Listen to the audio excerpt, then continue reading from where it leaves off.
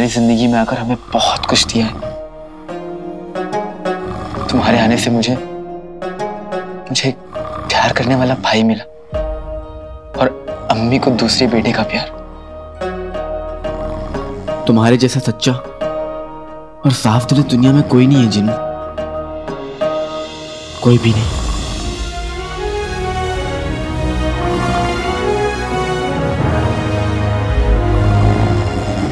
कुछ भी हो जाए। मैं उस मुच्छड़ को हमारा घर दोबारा नहीं उजाड़ने दूँगा। और उस अंगूठी की जिनको मैं तुम्हारे करीब नहीं आने दूँगा जिन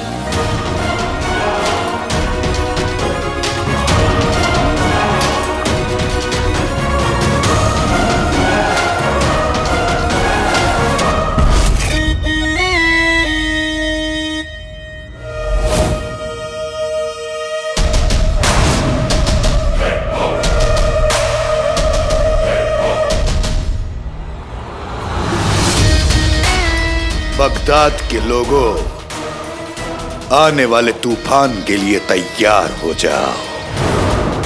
क्योंकि अंगूठी का जिन आ गया है।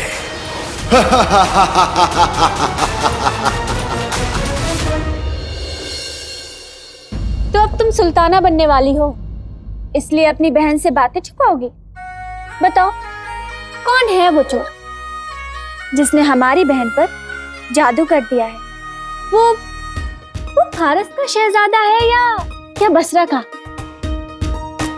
अम, तुम्हारा अंदाज और मालूमत बिल्कुल कच्चे हैं मेहर। और इन दोनों में से कोई नहीं है। और बसरा नहीं अल बसरा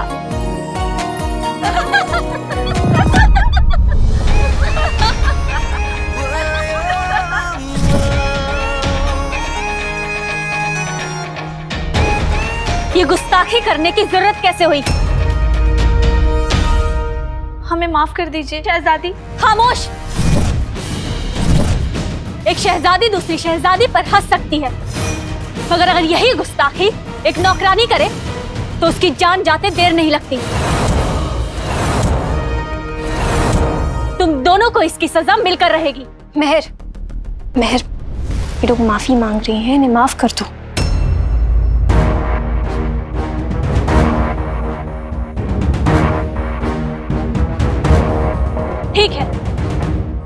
तुम्हारी पहली गलती है, इसीलिए हम तुम्हारी जान नहीं लेंगे। लेकिन तुम्हें? इन्हें नौकरी से निकालना होगा और पचास कोड़ों की सजा भी सुनानी होगी। और यही मेहर की मर्ज़ी है। हमें माफ़ कर दीजिए। अब ऐसी गुस्ताखी कभी नहीं होगी। हमें बख्श दीजिए।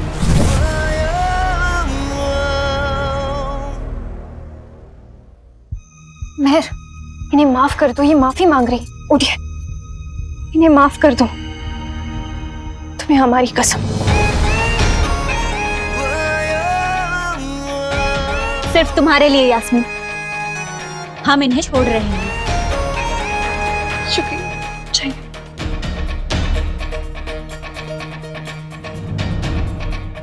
अपनी इज़्ज़त अपने रुतबे को बरकरार रखने के लिए आवाम को हमारे और उनके बीच में फ़र्क याद दिलाना ज़रूरी है। यास्मीन ये लो नकड़ी मुझे ना बहुत ज़रूरी काम है। तुम सारे बर्तन धुल दो मैं मैं तुम्हारा एहसान कभी नहीं भूलूँगा। और एक वो काला चोर है जो हमसे बर्तन भी साफ़ करवा चुका है और हमेशा लड़ता रहता है। इज़्ज़त तो दूर की बात तमीज से भी पेश नहीं आता।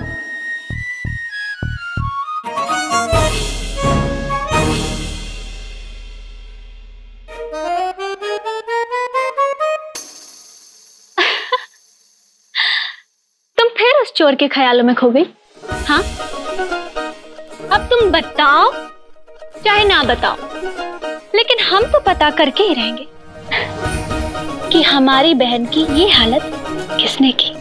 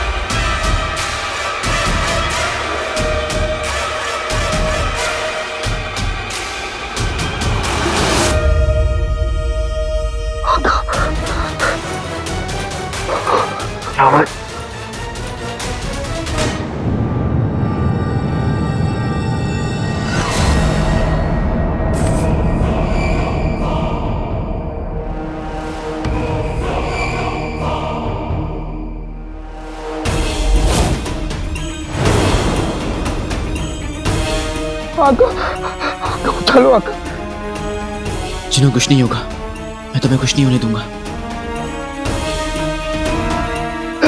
क्या?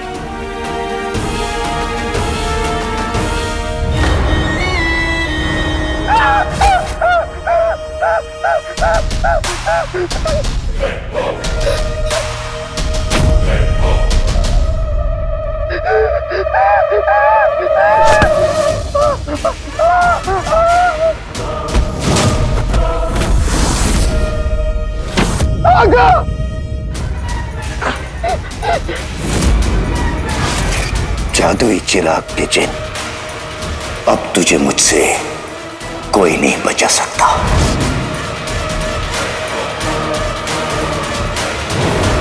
उंगली में अंगूठी अंगूठी में कमीना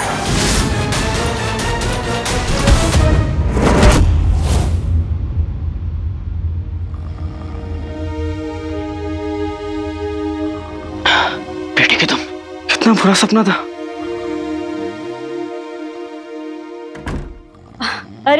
आज तो खुद उठ गया। मैं तुम दोनों को उठाने ही आ रही थी। जीनू को भी उठा दे काम पर भी जाना है उसे। जिनू पे अंगूठी की चिंता खतरा है। इस वक्त जिनू का घर से निकलना ठीक नहीं होगा। अम्मी जिनू की तो आज छुट्टी है। छुट्टी है? अच्छा।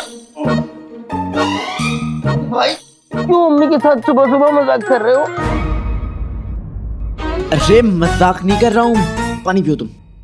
अम्मी इसे ना कुछ याद ही नहीं रहता।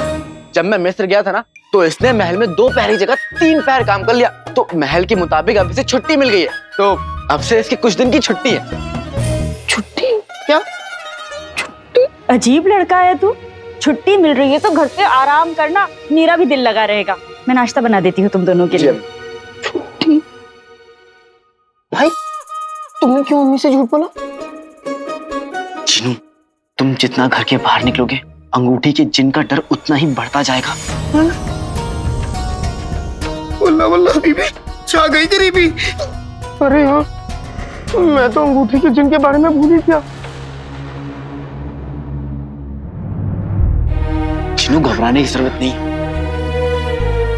ये तावीज देख रहे हो? इस तावीज में अम्मी की दुआएँ और ऊपर वाली की रहमत है। जब तक ये तुम्हारे हाथ में तुम्हारा कोई कुछ नहीं बिगाड़ सकता।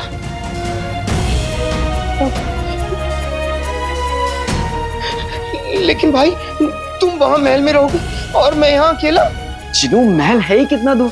जैसे ही कोई गड़बड़ होगी, मैं भाग के चलाऊँगा। बस एक चीज़ का ध्यान रखना कि घर से बाहर मत निकलना, चाहे कुछ भी हो जाए। अब मैं भी तैयार हो जाता हूँ, वरना महल के लिए मुझे देर हो जाएगी।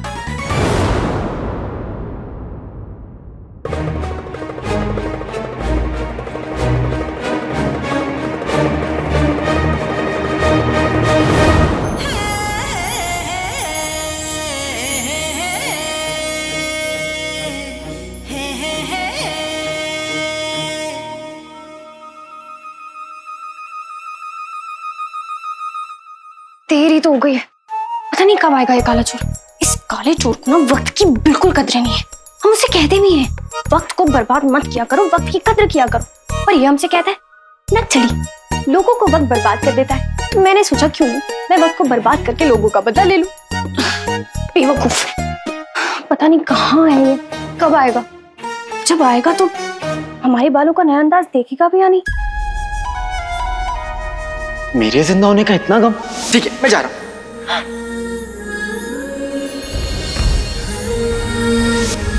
अर्ज़ किया है लग जा गले कि फिर ये हँसी रात हो ना हो। शायद फिर कभी इस जन्म में मुलाकात होना हो। अब हमें फ़र्क नहीं पड़ता वो हमें देखे या ना देखे। और वैसे भी हम यहाँ सिर्फ़ उसका शुक्रिया अदा करना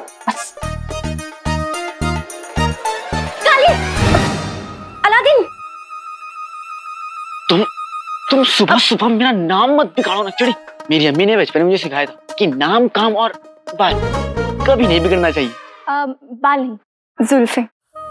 हसीनाओं की जुल्फों को कोई घटा कहता है तो कोई काली रात। और मेरा बैजरू भी आपकी पूछ कहता है।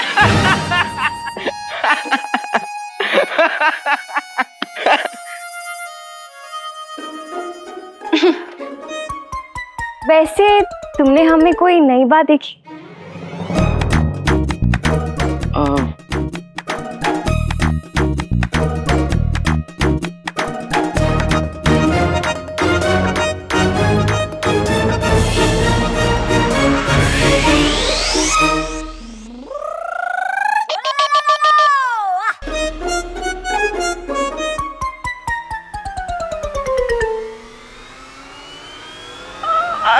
तुम आज नहाई नहीं हो है ना? तुम इस दुनिया के सबसे बड़े, गधे, उल्लू और बेवकूफ़ इंसान। हो तुम्हें कभी कुछ समझ नहीं आता, अलादीन। चुप रहो, हमारी बात सुनो। हम यहाँ तुम्हारा इंतज़ार इसलिए कर रहे थे क्योंकि हम तुम्हारा शुक्रिया अदा करना चाहते थे क्योंकि तुमने हमें तैनात से बचाया पर और उस बात के लिए तुम्हारा बहुत बहुत बहुत शुक्रिया।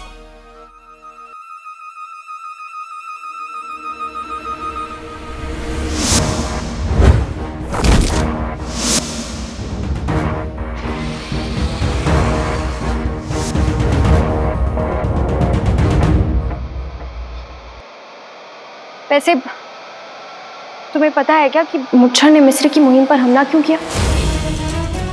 इसके पीछे क्या मकसद हो सकता है?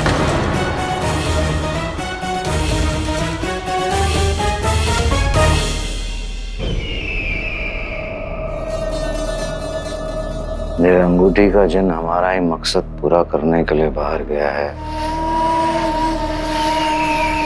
लेकिन न जाने कब लौटेगा ये। हुजूर हुजूर वो अंगूठी का जीन मिल गया हुजूर। कहाँ है वो? हुजूर वो मैं वो वो महल में आप खुद ही चलकर देख ले तो बेहतर होगा हुजूर। ये अंगूठी का जिन अब तक सिर्फ़ वज़ीर ज़फ़र से मिल चुका है।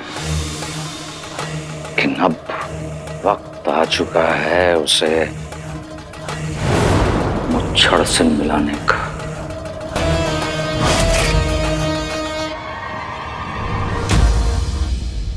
वैसे ठीक है?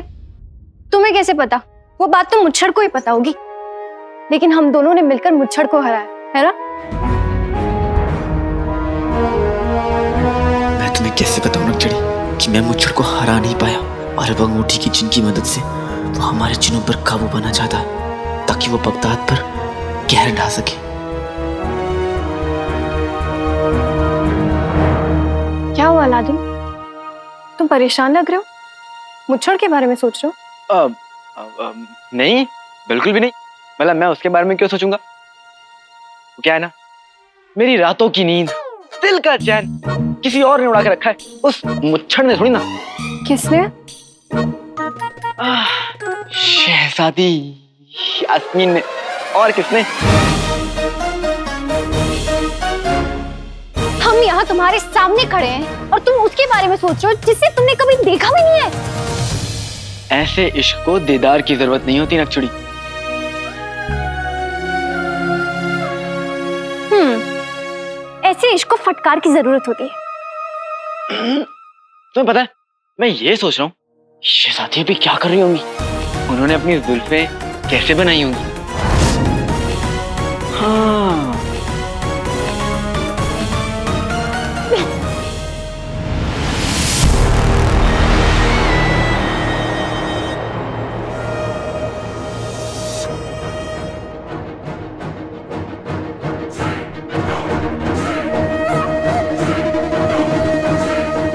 बेवकूफ़। हमारी मुलाकात तो हो चुकी है आका। फिर आप अपना तारुफ अब क्यों दे रहे?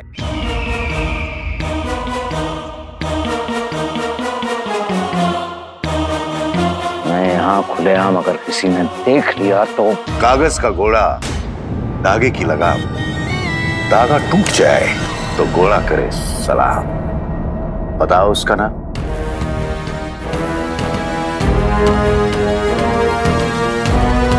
हमने तुम्हें जादुई चिराग के जिम का पता लगाने को कहा था। तुम यहाँ पता लगा रहे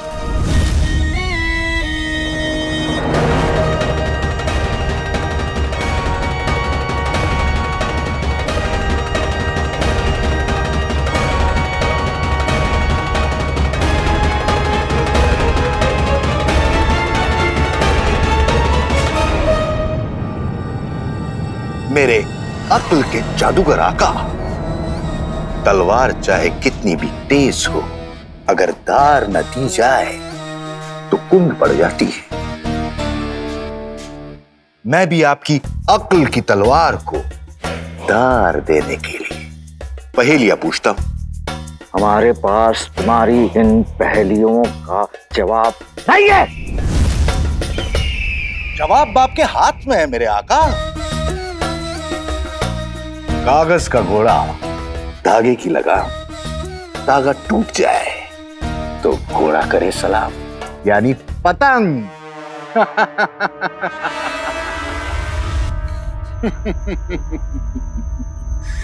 हमें ना तुम्हारी इस पहेली में दिलचस्पी है और ना तुम्हारी इस पतंग में।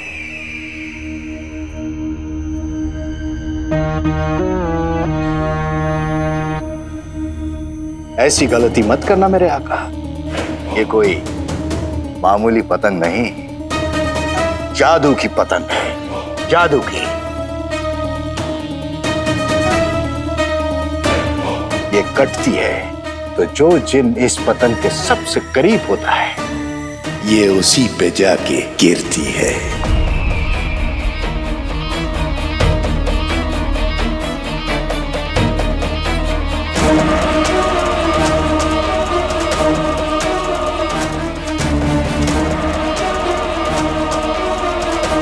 और बगदाद में इस वक्त मेरे अलावा सिर्फ़ एक ही जिन है, जादुई चिराग का जिन। बस, डोर कटने की देर है। उसके बाद इस पतंग का जादू हमें चिराग के जिन तक पहुँचा देगा।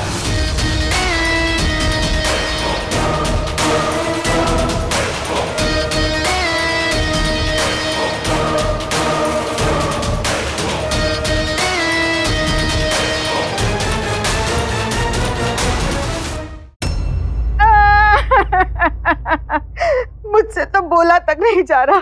बोल दो बोल दो। लिखना तो पड़ेगा ही। लिखो। हुसैन का तबला दो शर्फिया। लियाकत की चांदी के चम्मच तीन शर्फिया। सलमा के घर के साबुन ये तो दो कौड़ी के थे पर लिखो एक अशरफी और रजा के घर की रजाई तीन अशरफिया। कुल मिला के हो गए ना तीन सौ अशरफिया।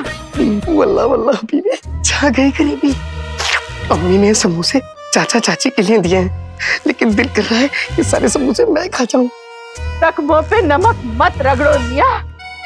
उसकी तीन सौ अशरफियाँ और जोड़ दो। हम्म ठीक है। और तो और जो सरेआम हमारी बेइज्जती हुई उसकी कीमत कौन चुकाएगा? बेगम वो हिसाब भी रुखसार के खाते में ही लिखा जाएगा।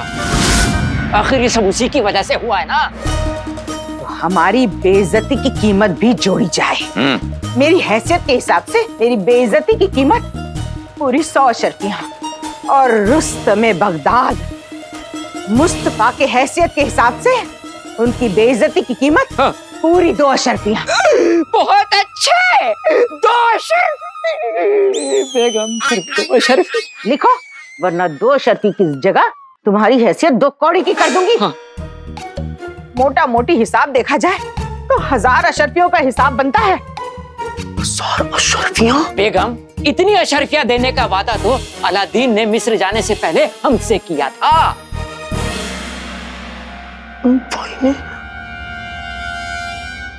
कसम, इस नुकसान में जाया हुई अशरफियों की।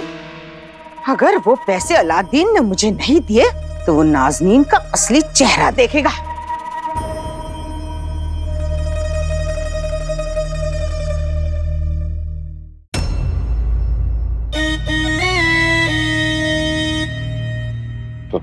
हमें ये कहना चाह रहे हो कि तुम्हारी इस पतंग के कटते ही तुम्हें उस जादुई चिराग के जिन का पता चल जाएगा।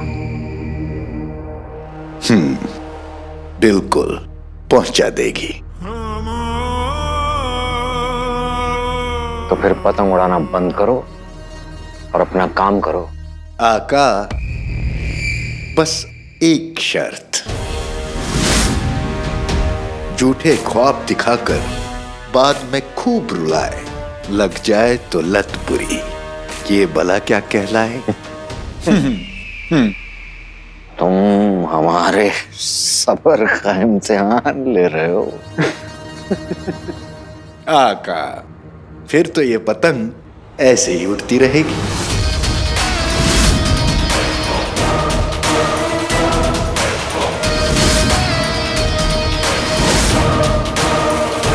दिल से मलंग हूँ, मैं उड़ती पतंग हूँ, खोटा नसीब इस आका के संग हूँ।